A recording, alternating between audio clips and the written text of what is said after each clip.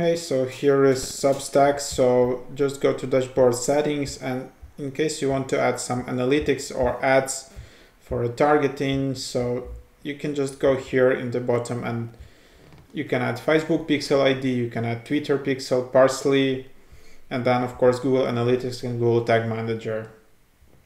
Um, so yeah, if you're just using Google Analytics, just find that Pixel ID. Of course, you can set up everything through Google Tag Manager ID. I think that's the best way. So just create a new tag in Google Tag Manager and insert Google Analytics, Facebook Pixel, LinkedIn, Twitter, everything just goes there and you only insert like Google Tag Manager ID. So that can be like that.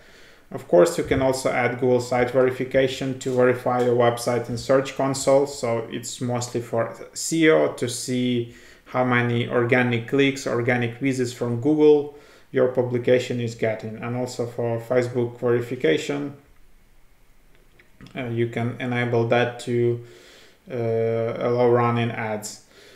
So that's that. That's how it works. That's how you add advertising analytics to your Substack publication.